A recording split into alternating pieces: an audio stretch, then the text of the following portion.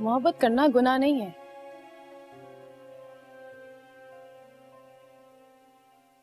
मोहब्बत में बहक जाना गुनाह है। कहते हैं कि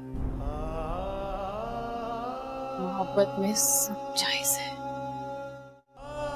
गलत कहते हैं। गलत कहते हैं।